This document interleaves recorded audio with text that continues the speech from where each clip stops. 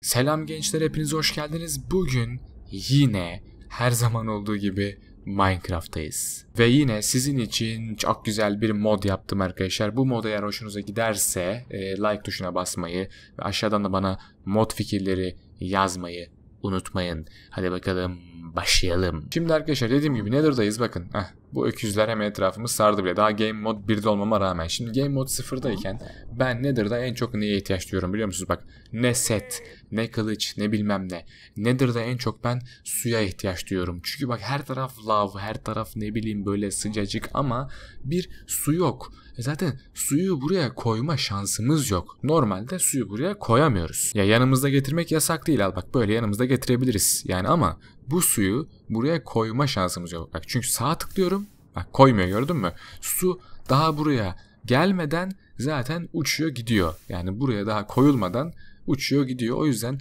Nether'ın hiçbir yerine suyu koyma şansımız yok arkadaşlar. Bakın buralara da koyamıyoruz. Ne bileyim işte şuraya da gelip koyamıyoruz. Ondan sonra gelip bu ağaçlara da koyamıyoruz. Hiçbir şekilde bu suyu Nether'da kullanamıyoruz arkadaşlar. Fakat benim yapmış olduğum muhteşem mod sayesinde bu artık mümkün. Modum arkadaşlar hiçbir şekilde oyuna bir şey eklemiyor. Ne yaratık ekliyor, ne e, işte blok ekliyor, ne bir şey ekliyor. Hiç ama hiçbir şey eklemiyor. Sadece tek bir şey yapıyor. O da bu suyumuzun böyle koyulmasını engelleyen özelliği kaldırmak. O zaman haydi modu kurayım öyle geleyim. Evet tıpatıp aynı yerdeyim. Sadece modumu kurdum geri geldim arkadaşlar. Bakın şimdi elimdeki su kovasını daha demin hiçbir yere koyamıyordum. Nereye koysam buharlaşıp uçup gidiyordu. Fakat artık bunu herhangi bir yere bakın. Mesela buraya sağ tıkladığımda koyabiliyorum. Bakın kendisi böyle buradan geldi aşağı doğru aktı devam ediyor maşallah devam ediyor aşağı doğru gidiyor. Hala gidiyor evet gidiyor. Hatta orada bir taşmaş oluştu bir şeyler oluştu. Çünkü lavla beraber tepkimeye girdiler. Orası baya kabuston jeneratör mü oldu? Ne oldu? ne oluyor lan buraya? Etrafta obsidyenler ee, şöyle oluştu. Çünkü niye? Su buradan geldi, temas etti. Bunlar obside dönüştü. Daha geniş bir yerde deneyelim. Mesela burada. Evet. Buraya mesela arkadaşlar şöyle suyumuzu koyalım. Bakın böyle dört birine suyumuz dağıldı. Evet çok güzel bir şekilde. Şimdi bu zombi pigmenleri falan kendimize bir saldırtalım tamam mı? Bak şöyle survival moda geçtim. Mesela bir tanesini vurdum. Tamam bak bunlar bana saldırıyor. Şimdi böyle geçtim bak. Sudan bana doğru gelemiyorlar yani. Çünkü bunlar buranın canlıları. Hani bunlar ne su görmüş ne bir şey görmüş. Doğduklarından beri ta küçüklükten beri lavlarla sıcaklıkla falan başa çıkıyorlar.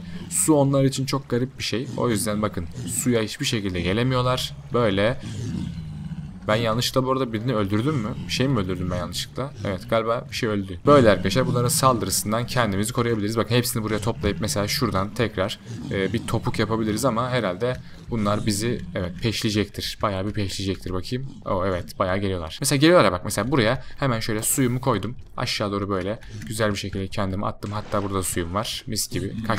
Uuu, tabii bunlar ne olursa olsun beni peşim bırakmadılar. Neyse şuradan yukarı doğru çıkayım onlar zaten gelemez diye düşünüyorum. Aynen evet kendilerinden mis gibi kurtuldum. Yani bir sürü yaklaşık 10-15 tane zombi pigmenden su sayesinde arkadaşlar kurtuldum. Ya abi şuradan çıkamıyorum ama mal mıyım neyim ya. Evet gençler bu şekilde yani artık bu nether'ımıza e, sularımızı güzel bir şekilde koyabileceğimiz bir modumuz var. Ha bu arada asıl sorunun cevabına geldik. Evet sınırsız su kaynağını yapabiliyor muyuz? Hemen deneyelim abi. Denemek bedava. Şöyle şuraya mesela 4 tane e, şey açtım. Blok açtım. Hemen şöyle kendime yine dolu bir su kovası aldım. Bu dolu su kovasının bir tanesini şu köşeye bir diğerinde arkadaşlar şu köşeye koyduğumda evet bakın sınırsız su kaynağı olduğunu zaten gördük. Ama yine de bir test edelim. Şöyle tekrar bir survival'a geçelim. Ve bakın boş kovalarla alalım.